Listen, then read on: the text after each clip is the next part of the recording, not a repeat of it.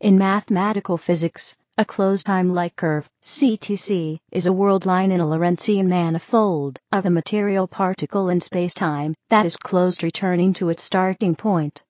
This possibility was first raised by Kurt Gödel in 1949 who discovered a solution to the equations of general relativity, GR, allowing CTCs known as the Gödel metric, and since then other GR solutions containing CTCs have been found, such as the Tipler cylinder and traversable wormholes, if CTCs exist, their existence would seem to imply at least the theoretical possibility of time travel backwards in time, raising the specter of the grandfather paradox, although the Novikov self-consistency principle seems to show that such paradoxes could be avoided.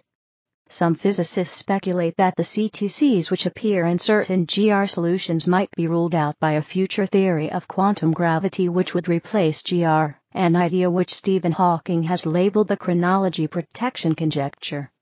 Others note that if every closed time-like curve in a given spacetime passes through an event horizon, a property which can be called chronological censorship, then that spacetime with event horizons excised would still be causally well behaved, and an observer might not be able to detect the causal violation.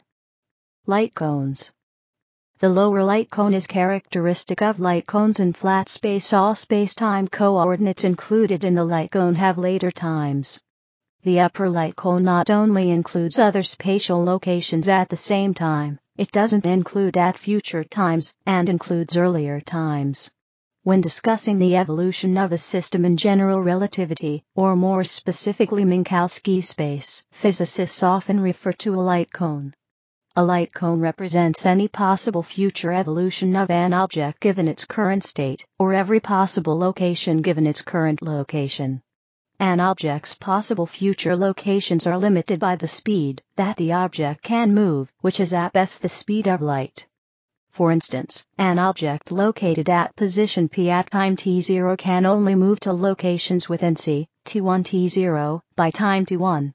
This is commonly represented on a graph with physical locations along the horizontal axis and time running vertically, with units of for time and ct4 space. Light cones in this representation appear as lines at 45 degrees centered on the object, as light travels at per. On such a diagram, every possible future location of the object lies within the cone. Additionally, every space location has a future time, implying that an object may stay at any location in space indefinitely. Any single point on such a diagram is known as an event. Separate events are considered to be time-like if they are separated across the time axis, or space-like if they differ along the space axis. If the object were in free fall, it would travel up the t-axis. If it accelerates, it moves across the x-axis as well. The actual path an object takes through space-time, as opposed to the ones it could take, is known as the world line. Another definition is that the light cone represents all possible world lines. In simple examples of space-time metrics the light cone is directed forward in time. This corresponds to the common case that an object cannot be in two places at once, or alternately that it cannot move instantly to another location. In these spacetimes, the world lines of physical objects are, by definition, time-like. However this orientation is only true of locally flat spacetimes. In curved spacetimes the light cone will be tilted along the spacetime's geodesic. For instance, while moving in the vicinity of a star, the star's gravity will pull on the object, affecting its world line, so its possible future positions lay closer to the star. This appears as a slightly tilted light cone on the corresponding spacetime diagram, an object in free fall in this circumstance continues to move along its local axis, but to an external observer it appears it is accelerating in space as well a common situation if the object is in orbit, for instance. In extreme examples, in spacetimes with suitably high curvature metrics, the light cone can be tilted beyond 45 degrees. That means there are potential future positions from the object's frame of reference that are space-like separated to observers in an external rest frame. From this outside viewpoint, the object can move instantaneously through space. In these situations the object would have to move, since its present spatial location would not be in its own future light cone. Additionally, with enough of a tilt, there are event locations that lie in the past, as seen from the outside. With a suitable movement of what appears to it its own space axis, the object appears to travel, though time, as seen externally, a closed time-like curve can be created if a series of such light cones are set up so as to loop back on themselves, so it would be possible for an object to move around this loop and return to the same place and time that it started. An object in such an orbit would repeatedly return to the same point in space-time if it stays in free fall. Returning to the original space-time location would be only one possibility. The object's future light cone would include space-time points both forwards and backwards in time, and so it should be possible for the object to engage in time travel under these conditions. General relativity CTCs appear in locally unobjectionable exact solutions to the Einstein field equation of general relativity, including some of the most important solutions. These include the Misner space, which is Minkowski space orbifolded by a discrete boost. The Kerr vacuum, which models a rotating uncharged black hole. The interior of a rotating BTZ black hole. The Van Stockum dust, which models a cylindrically symmetric configuration of dust. The Gödel lambda dust, which models a dust with a carefully chosen cosmological constant term. The Tipler cylinder, a cylindrically symmetric metric with CTCs.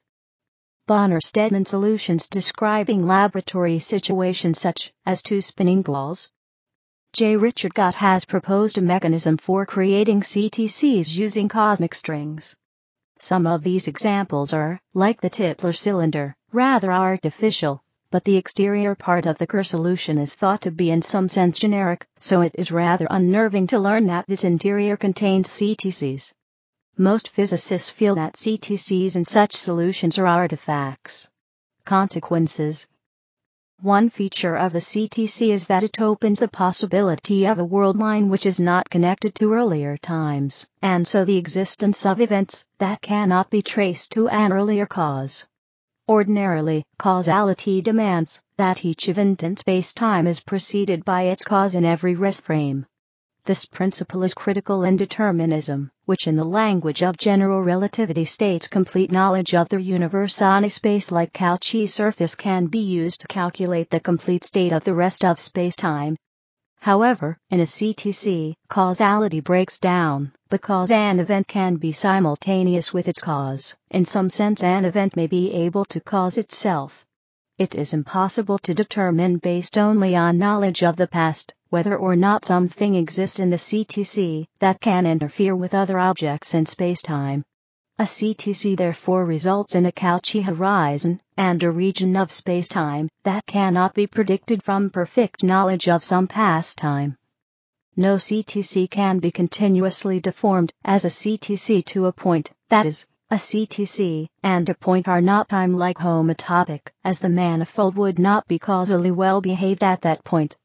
The topological feature which prevents the CTC from being deformed to a point is known as a time-like topological feature.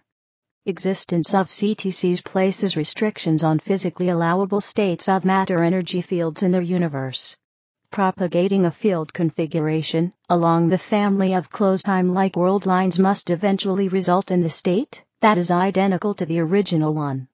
This has been explored by some scientists as a possible approach towards disproving the existence of CTCs.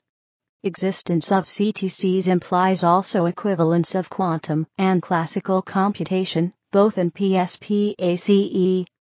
Contractible versus non-contractible. There are two classes of CTCs.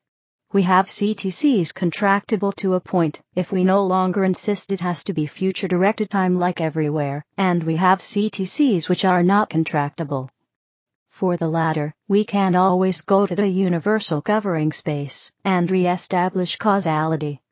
For the former, such a procedure is not possible. No closed time-like curve is contractible to a point by a time-like homotopy among time-like curves, as that point would not be causally well behaved. Cauchy horizon. The chronology violating set is the set of points through which CTCs pass. The boundary of this set is the Cauchy horizon. The Cauchy horizon is generated by closed null geodesics. Associated with each closed null geodesic is a redshift factor describing the rescaling of the rate of change of the affine parameter around a loop. Because of this redshift factor, the affine parameter terminates at a finite value after infinitely many revolutions because the geometric series converges.